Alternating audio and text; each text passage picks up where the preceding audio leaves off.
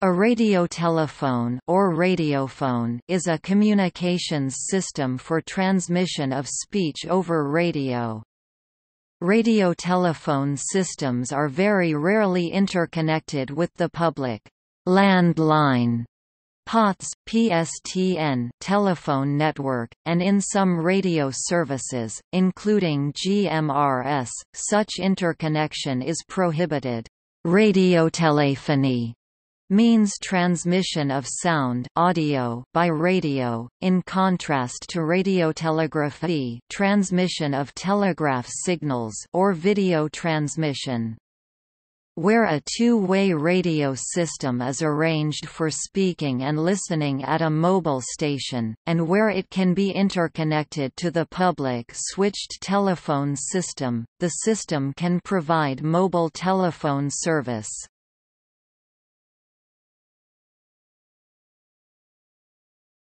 Topic: Design.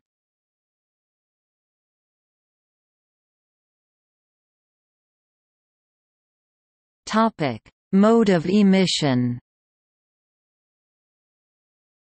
The word phone has a long precedent beginning with early U.S. wireless voice systems. The term means voice as opposed to telegraph or Morse code. This would include systems fitting into the category of two-way radio or one-way voice broadcasts such as coastal maritime weather.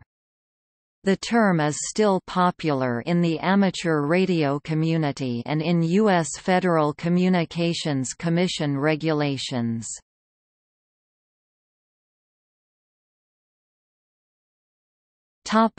Modes of operation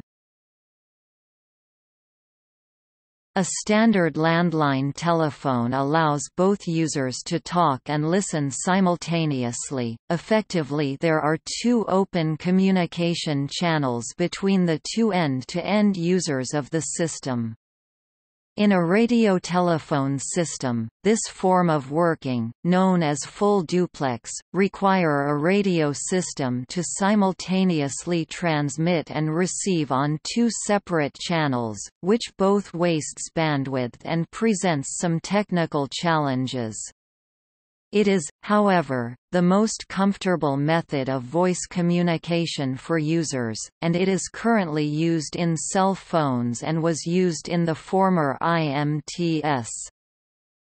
The most common method of working for radiotelephones is half-duplex, operation, which allows one person to talk and the other to listen alternately. If a single channel is used, both ends take turns to transmit on it. Dual-frequency working splits the communication into two separate channels, but only one is used to transmit at a time. The user presses a special switch on the transmitter when they wish to talk. This is called the press to talk switch or PTT. It is usually fitted on the side of the microphone or other obvious position. Users may use a procedural code word such as over to signal that they have finished transmitting.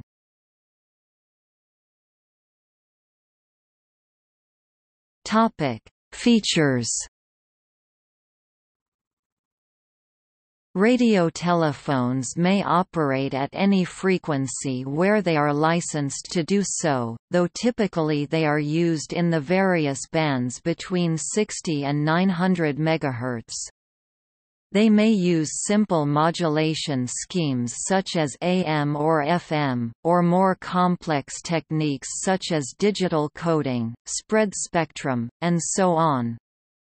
Licensing terms for a given band will usually specify the type of modulation to be used.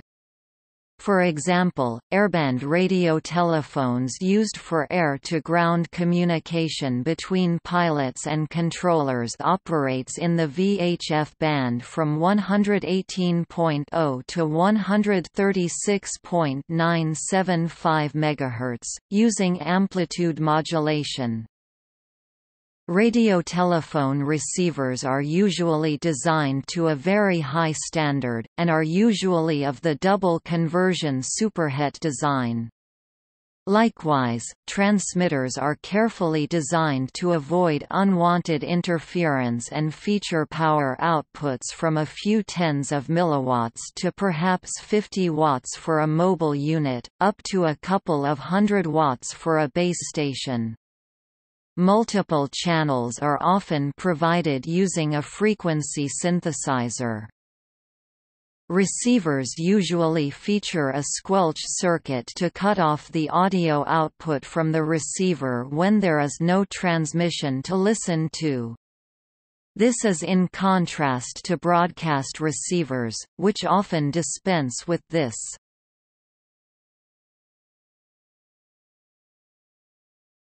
Topic: Privacy and selective calling.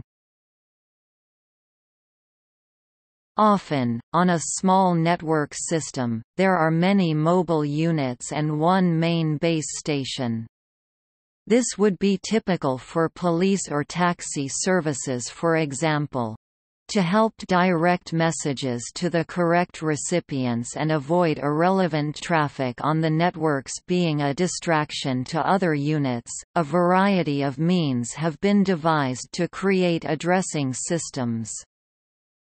The crudest and oldest of these is called CTCSS, or Continuous Tone Controlled Squelch System.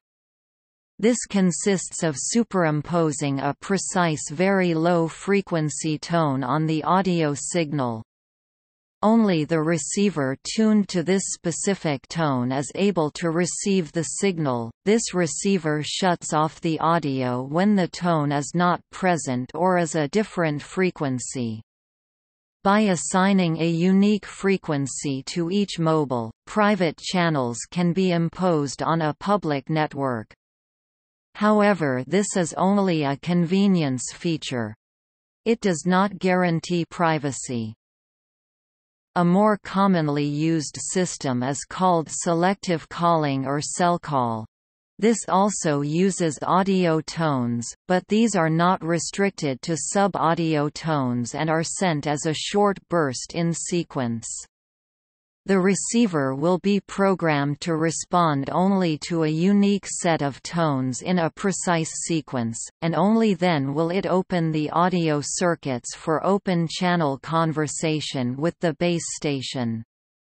This system is much more versatile than CTCSS, as relatively few tones yield a far greater number of addresses in addition, special features such as broadcast modes and emergency overrides can be designed in, using special addresses set aside for the purpose. A mobile unit can also broadcast a Selcall sequence with its unique address to the base, so the user can know before the call is picked up which unit is calling. In practice many Selcall systems also have automatic transponding built in, which allows the base station to «interrogate» a mobile even if the operator is not present.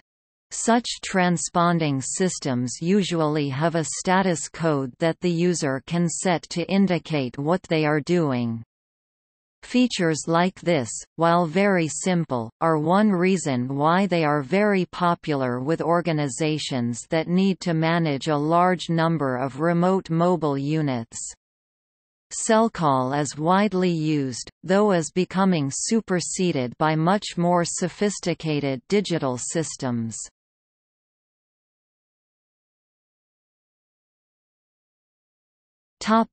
Uses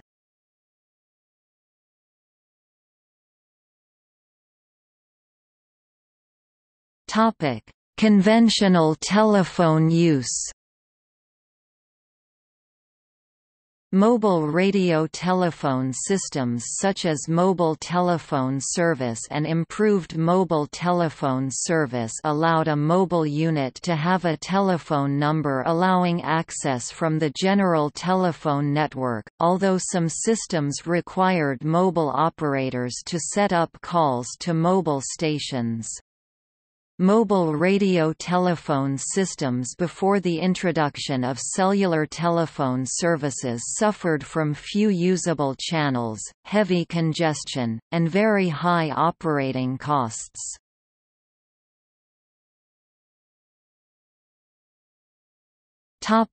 Marine use The Marine Radiotelephone Service or HF ship-to-shore operates on shortwave radio frequencies, using single sideband modulation. The usual method is that a ship calls a shore station, and the shore station's marine operator connects the caller to the public switched telephone network. This service is retained for safety reasons, but in practice has been made obsolete by satellite telephones particularly in Inmarsat and VoIP telephone and email via satellite Internet. Short-wave radio is used because it bounces between the ionosphere and the ground, giving a modest 1000 watt transmitter the standard power a worldwide range. Most shore stations monitor several frequencies. The frequencies with the longest range are usually near 20 MHz, but the ionospheric weather propagation can dramatically change which frequencies work best. Single sideband (SSB) is used because the short wave bands are crowded with many users, and SSB permits a single voice channel to use a narrower range of radio frequencies, bandwidth about 3.5 kHz. In comparison, AM radio uses about 8 kHz, and narrowband voice or communication quality FM uses 9 kHz. Marine radiotelephony first became common in the 1930s, and was used extensively for communications to ships and aircraft over water. In that time, most long-range aircraft had long wire antennas that would be let out during a call, and reeled in afterward. Marine radiotelephony originally used AM mode in the 2 to 3 MHz region before the transition to SSB and the adoption of various higher frequency bands in addition to the 2 MHz frequencies. One of the most important uses of marine radiotelephony has been to change ships' itineraries, and to perform other business at sea.